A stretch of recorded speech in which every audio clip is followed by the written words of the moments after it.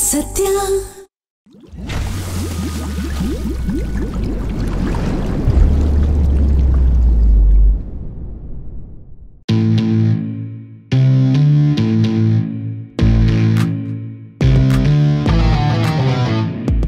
ஒரு டாஸ்க்கை கொடுத்து அதுக்கு செட்டப் போட்டு இவ்வளோ பணம் செலவு பண்ணி எல்லாரும் இந்த டாஸ்க்கை நல்லா பண்ணிடுவாங்க ஆஹா இந்த டாஸ்க் ஒரே சந்தோஷமா போடா அப்படின்னு நினைச்சு வந்து பார்த்தா கடைசியில சண்டேல வந்து நிக்கிது. இந்த மாதிரி தாங்க இருக்கு ஆனா இல்ல. ஆ, அப்படிங்கிற மாதிரி ஆக்க வச்சாங்க இன்னைக்கு ஸோ போயிடுமா இது Bigg Boss season three review day thirty one day Madurai பல பழக்குது.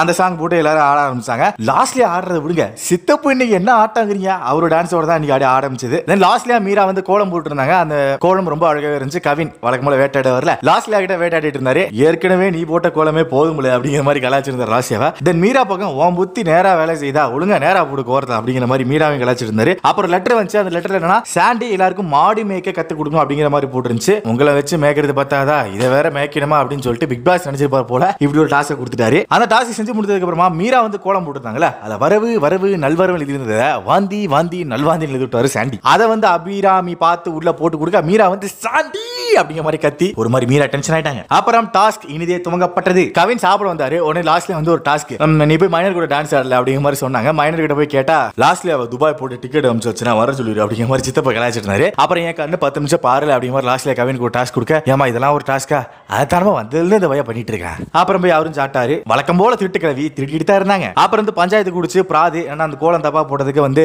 அந்த பிராது ஒன்று போச்சு. அங்க பிராது நடந்துட்டு நடந்திருக்கு லாஸ்ட்ல சொம்ப தூக்கி வச்சிட்டாங்க. நாட்டாம உன் சொம்பே போச்சா? அப்படிங்கிற மாதிரி தான் இருந்துச்சு அதை நாட்டாமை ஆகிய சேரன் கண்டுபிடிச்சார் இடையிலேயே. அப்புறம் தர்ஷன் வந்து ரெஸ்ட் ரூம் போனாரு. சொம்ப கண்டுபிடிக்காம யாரும் எங்கேயும் போக முடியாது அப்படி மாதிரி சேரன் சொல்ல. தர்ஷன் ரொம்ப டென்ஷன் ஆயிட்டாரு. அப்புறம் கவின் கூல் பண்றதுக்கு மதுமிதாக்கும் தர்ஷனுக்கு ஒரு டாஸ்க் கொடுத்து ரெஸ்ட் ரூம் போக வச்சாங்க. தென் அந்த ஃப்ளோல சேரன் சார் வந்து ரேஷ்மாமல தேவலாம் கத்த அது ஒரு ஃபைட்டா வெடிச்சது. அப்புறம் சொம்ப திருநது லாஸ்ட்ல தான் அப்படிங்கிற மாதிரி நினைச்சுக்கிட்டு வெயில்ல லாஸ்ட்ல கட்டி போட்டாங்க. ஏய் நல்ல நகைச்சுவா இருக்குப்பா இந்த டாஸ்க் விளையாடுங்கப்பா விளையாடுங்கப்பா. நகைச்சுவே ஆடுங்கன்னு சொன்ன நாட்டாமே இவ்வளவு நகைச்சுவே ஆடாருப்பா அப்படிங்கிற மாதிரி கவின் வந்து ஒரு மாதிரி நக்கலா கலாச்சார் நாட்டாமிய. அப்புறம் சொம்ப வந்து த- கண்டுபிடிச்சு வந்து கொடுத்தாரு. ஒரு சத்தியம் பண்ணல அப்பா மேல சத்தியம் ஒண்ணுல நீ ரொம்ப திருல நான் எதுக்கு சத்தியம் பண்ணு நீங்க கண்டுபிடிங்க அப்படிங்கிற மாதிரி சேரன் லாஸ்ட் ரெண்டு பேர் கான்வர்சேஷன் இருந்துச்சு. இனிமே உனக்கு எனக்கு சம்மந்தமே இல்ல போல நீ அப்படிங்கிற மாதிரி சேரன் சார் லாஸ்ட்ல சொல்லிட்டாரு. அதை மேபி சீரியஸா சொல்லிருப்பாரு நினைக்கிறேன். நகைச்சுவா சொல்லவே இல்லை அவரு. தென் மீரா வந்து ரெஸ்ட் ரூம் போகணும் போல அதுக்கு அபிராமி வந்து டாஸ்க் கொடுக்கணும். பானையில அடிச்சு சத்தியம் பண்ணு இனிமே மாமியாரா இருந்துகிட்டு மருமகள் தொல்லை பண்ண மாட்டேன் அப்படிங்கிற மாதிரி அபிராமி டாஸ்க் கொடுத்தாங்க. அதை பண்ண முடியாதுன்னு சொல்லிட்டு மதுமிதா கிட்ட மீரா வந்து சொல்ல அது ஒரு மாதிரி சண்டையா வெடிச்சு மீராக்கும் மதுமிதாக்கும் பர்சனலா அப்படி வெஞ்சன்ஸ் கிரியேட் ஆச்சு. அந்த ஃப்ளோல மதுமிதா என்ன பண்ணிட்டாங்க ஏய் பக்கத்து ஊர் தான் நீ வாழ போய் ஆப்பிள் சாப்பிடல போல. டால ஒரு நாட்டாமைக்கு ஒரு முத்தத்தை கொடுத்துட்டு நீ போய் ஆப்பிள் எடுத்து சாப்பிடலன்னு சொல்லிட்டு அபிராமிட்ட சொன்னாங்க. அப்படியே ரேஷ்மா ஒரு முத்தத்தை கொடுத்து அவங்களும் ஒரு ஆப்பிள் உடனே மைனர் சரவணன் சும்மா இருப்பாரா? நானும் ஒரு ஆப்பிள் சாப்பிடலாமா? அப்படிங்கிற மாதிரி ஒரு மாதிரி அது ஒரு மாதிரி சீரியஸா ஆரம்பிச்சு ஃபன்னா போயிடுச்சு. அப்புறம் ரேஷ்மா சாப்பிட வந்தாங்க. அப்ப வந்து ஒரு டாஸ்க் கொடுத்தாங்க. இன்னைக்கு செத்தா நாளைக்கு பால். இந்த ஏரியால நீதாயா பெரிய ஃபூலு அப்படிங்கிற மாதிரி ஒரு நாட்டாமோட சொல்லிட்டு அப்படிங்கிற மாதிரி மதுமிதா ரேஷ்மாக்கு டாஸ்க் கொடுத்தாங்க. அதை அவங்க சீரும் சிறப்புமா பண்ண சேரன் சார் உள்ள வந்துட்டார். நாட்டாமை என்ன வேணா சொல்லுவியா நீ?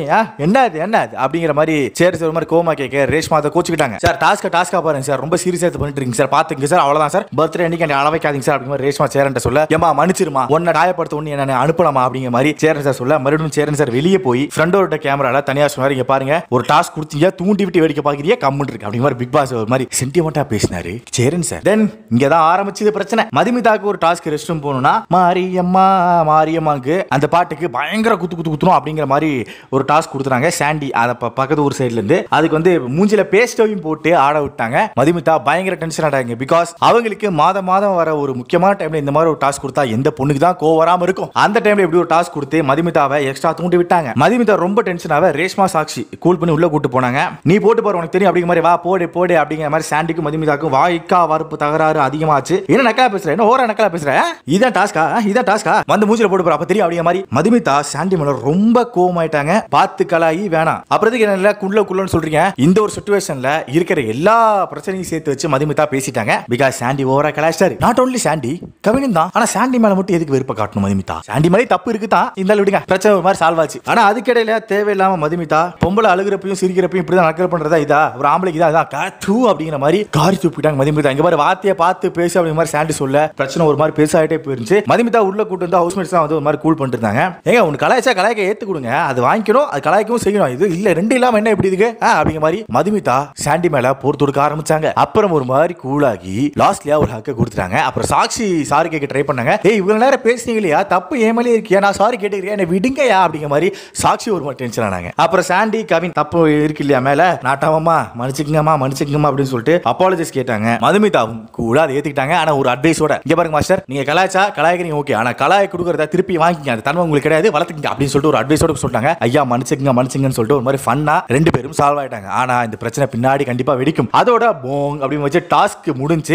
லாஸ்ட்லியா பயந்துட்டாங்க. பாவம் புள்ள தூங்கிருச்சு அதுல. தென் அப்புறம் இந்த மேட்டரை பத்தி சாண்டி சித்தப்பு கவின் மூணு பேர் டிஸ்கஸ் பண்ணிட்டு இருந்தாங்க மீராவும் சேர்ந்துக்கிட்டாங்க. அப்ப சித்தப்பு வந்து ஃபேமிலி பத்தி நல்லா விசாரிச்சாரு அவர் ஃபேமிலி பத்தி. அது பாக்குறதுக்கு மாதிரி கியூட்டா இருந்துச்சு. தென் கவின் சொன்னாரு இருக்கிற எல்லா பிரச்சனையும் தேவையில்லாம எடுத்துட்டு இங்கேயே பேசிட்டா. ஒரு டூ ஹண்ட்ரட் பர்சன்ட் சுச்சுவேஷனுக்காக வெயிட் பண்ணிட்டு இருந்தா கரெக்டா யூஸ் பண்ணிட்டா ஒருத்தர் மேல டார்கெட் பண்ணும் அப்படின்னு சொல்லிட்டு கவின் ஒரு மாதிரி சொன்னாரு அந்த பாயிண்ட் அவருக்கு தோணு பாயிண்ட் அவர் சொன்னார். தென் மீரா அதுக்கு எக்ஸ்பிளேஷன் கொடுக்க சித்தப்போட பேசு என்னடா எப்படி பேசுற? அப்படிங்கிற மாதிரி போச்சு. ஸோ அத்தோட இன்னைக்கு நாள் முடிஞ்சது. சண்டைகள் சச்சரவுகள் ஃபன் கலாட்டா எல்லாம் சேர்ந்து தான் இந்த எபிசோடு மாதிரி ஸ்பைசியா காரசாரமா இருந்துச்சு. ஸோ இன்னைக்கு உங்களுக்கு இந்த எபிசோட என்னென்ன பிடிச்சது அப்படிங்கிறத கீழே கமெண்ட் பாக்ஸ்ல பண்ணுங்க. முக்கியமா நாளைக்கு அன்சீன்ஸ் நிறையா இருக்கும். அதுவரை உங்களிடமிருந்து விடைபெறுவது உங்கள் நான் கார்த்திகேயன். மறக்காமல் லிட்டில் டாக்ஸ்க்கு சப்ஸ்கிரைப் பண்ணிருங்க.